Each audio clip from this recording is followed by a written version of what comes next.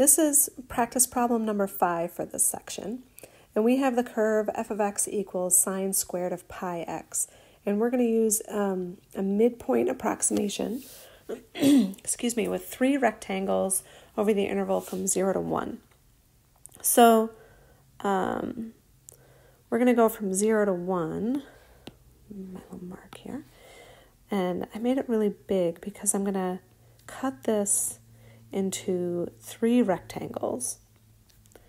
So when I do that, I'm going to go from one third to two thirds and then to one, which is three thirds. But I'm using the midpoint rule, which means that the midpoint of each of these rectangles, um, I'm going to evaluate the function at that midpoint. So um, just one more note. I want you to note that the width here for each rectangle is one third. Um, so if I do the midpoint between zero and one third, I get one sixth. And then the midpoint between one third and two thirds is one half.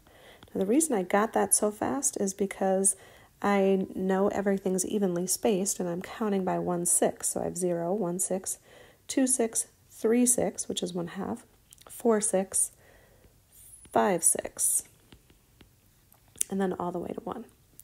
So to find this midpoint approximation, the width of the rectangles is one third, and then I am approximating at f of one sixth plus f of one half plus f of five sixths, which will give me, um, and I'm going to write this as sine of pi over 6 squared plus sine of pi over 2 squared plus sine of 5 pi over 6 squared. Well, sine of pi over 6 is 1 half. So this gives me 1 half squared. Sine of pi over 2 is 1, so this is 1 squared. And sine of 5 pi over 6, um, that's also 1 half, and it's in the second quadrant, so sine is still positive, so this is 1 half squared. Um, so this gives us 1 fourth plus 1 plus 1 fourth.